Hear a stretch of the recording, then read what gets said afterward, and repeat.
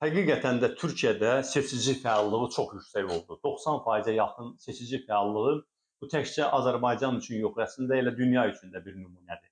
Heç başqa demokratik ölkələrdə də bu dərəcədə seçici fəallığı olmur. Nə ilə bağlıdır bu məsələ? İlk növbədə yəqin ki, ona görə ki, bu seçki bütün əvvəlki seçkilərdən fərqli olaraq sanki bir referenduma çevrilmişdi. Cəmiyyətdə böyük bir qütubləşmə vardı.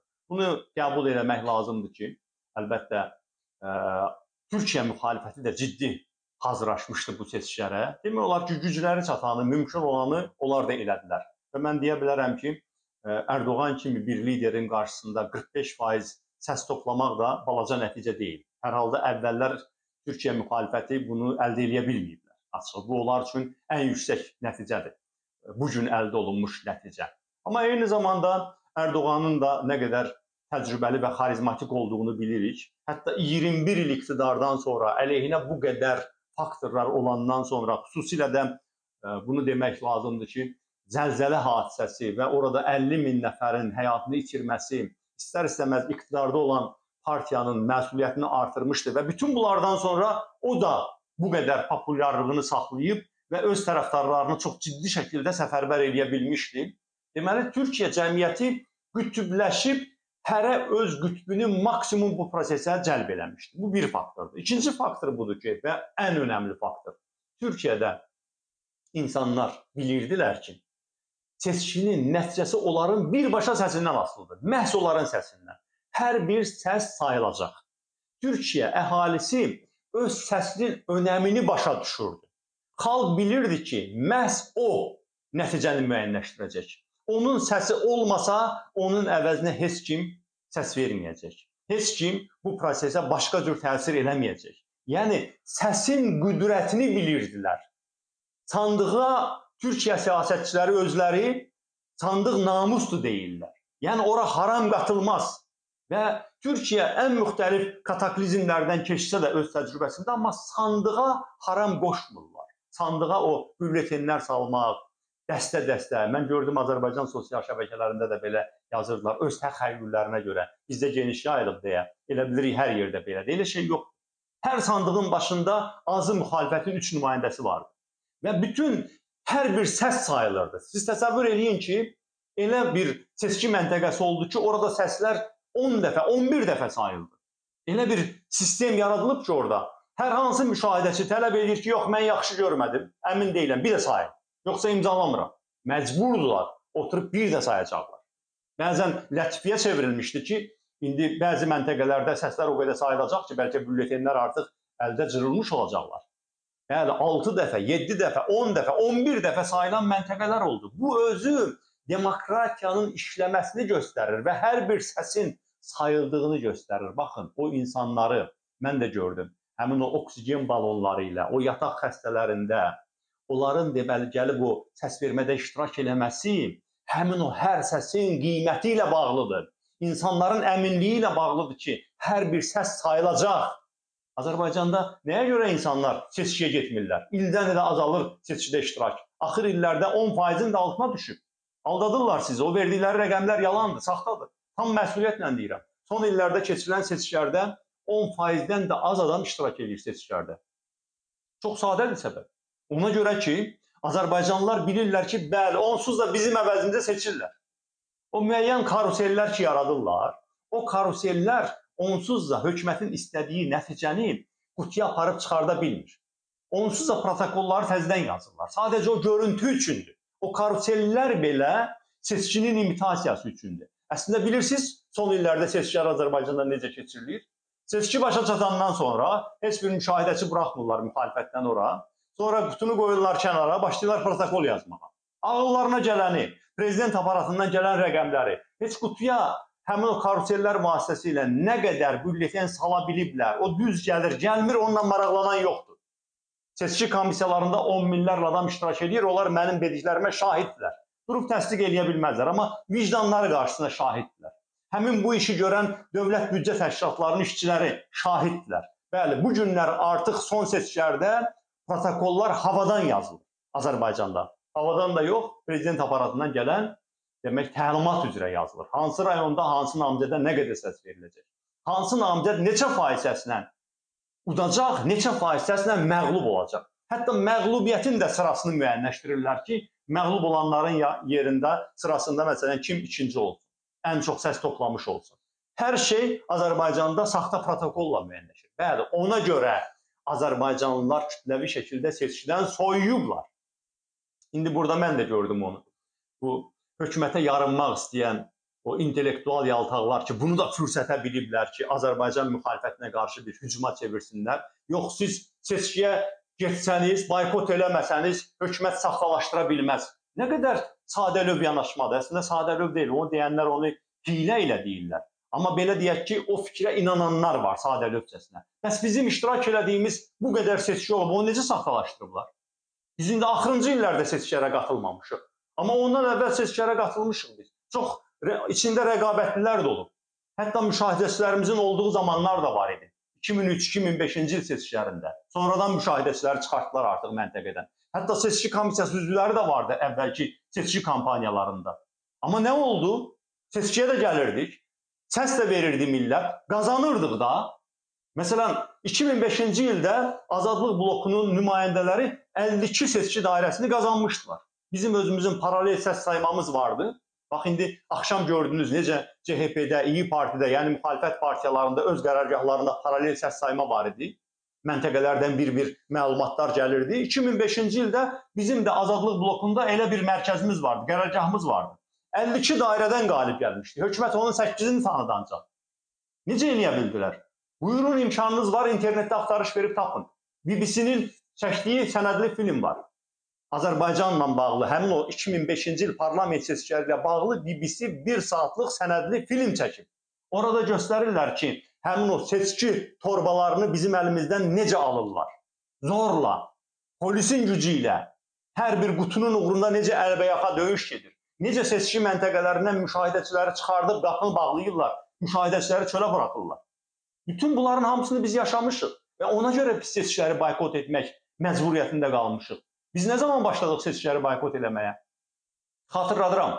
Axırıncı bizim deməli iştirak elədiyimiz seçkilər parlament seçkiləri 2010-cu ildə AXCP Musavat bloku olaraq iştirak eləmişik. Yəni o bəhanədə yoxdur ki, yox müxalifət birləşmir. Hər dəfə də seçkiyə ilə birləşib getmişik. Axırıncı dəfə AXCP Musavat bloku kimi getmişik seçkiyə. 120 dairədən verdiyimiz namizədin 80-dən artığını qeydə almayıblar.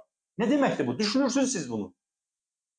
Artıq 3də 2 seçki dairəsində sənin heç namizədini buraxmırlar seçkiyə. Hansı seçkidən söhbət gedə bilər? Azərbaycanda seçki mi var ki, biz o seçkiyə qatılmalıyıq? Biz ondan sonra məcbur olduq artıq 2015-ci ildən həmin parlament seçkilərinə qatılmadıq. Bəs axırıncı iştirak elədiyimiz prezident seçkisi hansıdır?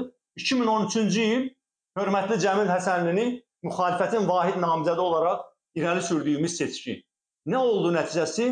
ATƏT təsdiq elədi ki, seçki məntəqələrinin 58 faizində, başa düşdünüz, 58 məntəqədə yox, 58 faizində seçkilər saxtalaşdırılıb. Bu mənim, Cəmil Həsənlinin, başqa müxalifətçinin iddiası deyil. ATƏT-in rəsmi sənədidir. Bu gün də gedib oxuya bilərsiniz. Əgər Türkiyədə belə bir şeylər təsəvvür eləmək olar, bir seçkidə ki, seçki məntəqələrinin 58 faizinin nəticələri saxtalaşdırılıb, hansı seçkidən söhbət gedə bilər? Hansı səsin həllediciliyindən söhbət gedə bilər? Orada heç dəstə-dəstə, paçka-paçka bülletenləri o qutuya atmaqdan da getmir söhbət. Birbaşa protokolların yenidən yazılmağından söhbət gedir. Nə qədər ora deməli seçki qutularına bülleten salsaydılar da yenə də Cəmil Həsənlinin səsini 6%-ə endirmək mümkün deyildi. Nə elədilər? Protokolları özləri yazdılar. Bizim müşahidəçiləri çıxartdılar. Belə seçki mi olur? İndi ona görə də Azərbaycan cəmiyyəti fərqində olmalıdır. Bəli, biz də seçki istəyirik.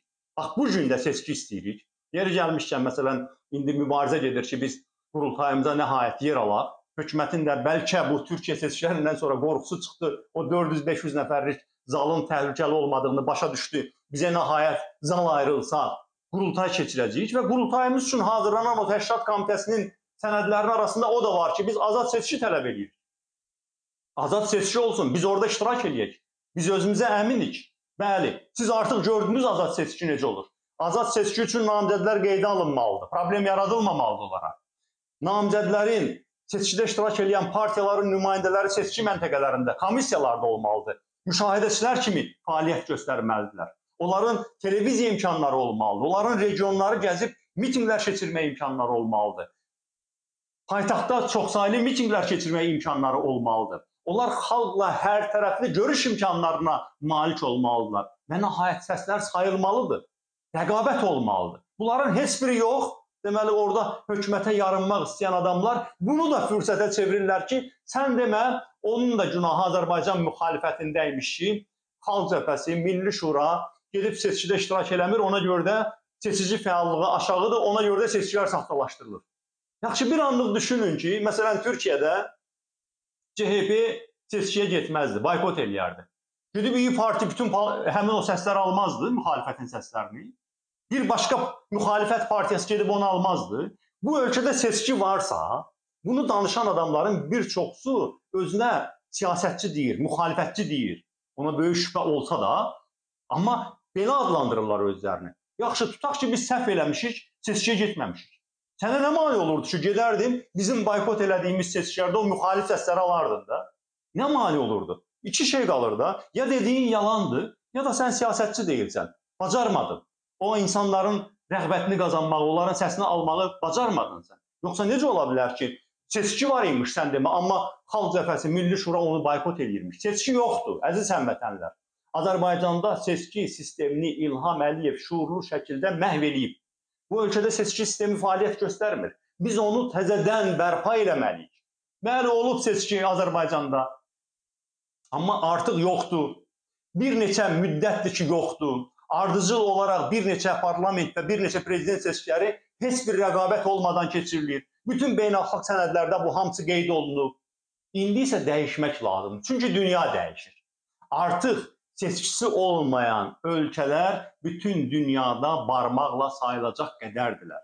Və Azərbaycandakı bu avtoritar rejimin yandaşları o təsəllini almaq istəyirlər ki, bəlkə Türkiyədə də bir saxtakarlıq oldu, zorakılıq oldu, qarşıdurma oldu, həbslər oldu, seçkinin zəbt edilməsinə bir işarə oldu. Əlimizə fürsət düşər ki, elə qardaş Türkiyədə də bizim kimi olur seçkilər, təsəlli tapardılar və bundan o saxtakarlığın dırnaqarası legitimləşməsi üçün istifadə edirdilər. O təsəlli də yoxdur.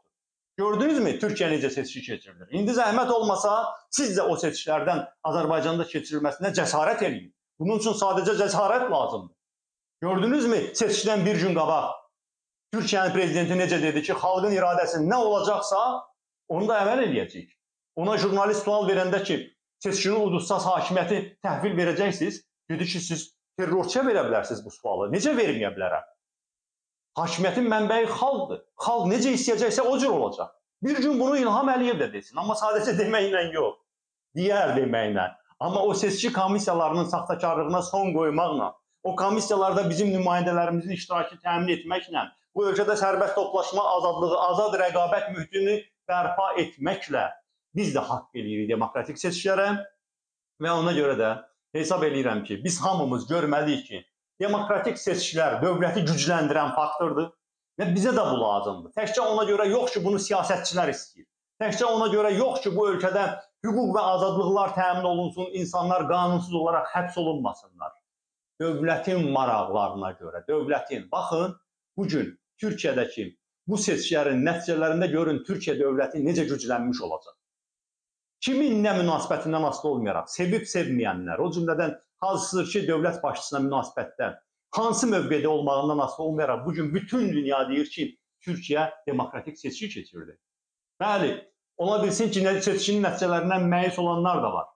Həmin o beynəlxalq təşkilatların arasında, beynəlxalq medianın arasında, bəlkə də Ərdoğanın uduzmağını ürəkdən arzulayan həmin şəxslər də vardı. Amma onlar hamısı etiraf edirlər ki, seçki demokratik keçdi. Və Türkiyə demokratik dünyanın daxilində mövqelərini gücləndirdi.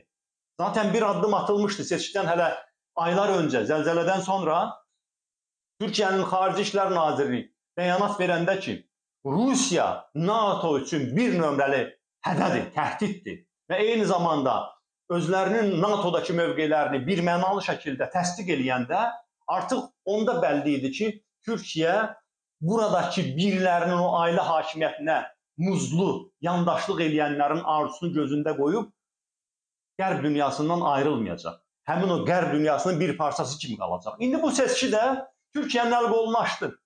Türkiyəyə müəyyən xarici sərmayələr də gələcək. Artıq Türkiyədə məhz hakimiyyətin taleyini xalqın həll elədiyini hər kəs görəcək. Dediyim kimi, hətta o nəticədən narazı qalanlar belə amma etiraf eləyəcəklər ki, xalq iradəsi belədirsə, bununla hesablaşmaq lazımdır. Görürsünüzmü nə qədər faydalıdır demokratik seçki? Bizdə də bu olmalıdır. Əziz həmvətənlər, ona görə də bu günləri ölkədə seçici fəallığının az olmağını səbəb kimi göstərmək lazım deyil. Bu nəticədir. Bu gün seçkilərdə müxalifətin boykot etməsini səbəb kimi göstərmək lazım deyil. Bu nəticədir. Ölkədə tək seçki olsun, seçici fəallığı da olacaq. Müxalifət də iştirak eləyəcək və Azərbaycan sürətlə dəyişəcək. Azərbaycanlılar mentalca, şuurca hazırdılar demokratik seçki üçün. Bizim xalqımız kifayət qədər savadlı və məlumatlıdır. Bizim xalqımız demokratiyadan yanadır. Onu zorla məcbur eləyirlər bu avtoritar rejimə boyun əyməyə. Əgər azacıq bu qolumuzdakı qandallar açılmış olsa, Azərbaycanda da mütləq demokratik seçki olacaq. Azərbaycanda da görəcəksiniz ki, o yataq xəstələri belə can atacaqlar seçki məntəqələrində səs verməyə, o yaşlı adamlar belə can atacaqlar seçki məntəqələrində səs verməyə və Azərbaycan müxalifəti də sevə-sevə bu prosesdə iştirak eləyəcək və inanıram ki, Azərbaycan xalqının dəstəyini də qazanmış olacaq.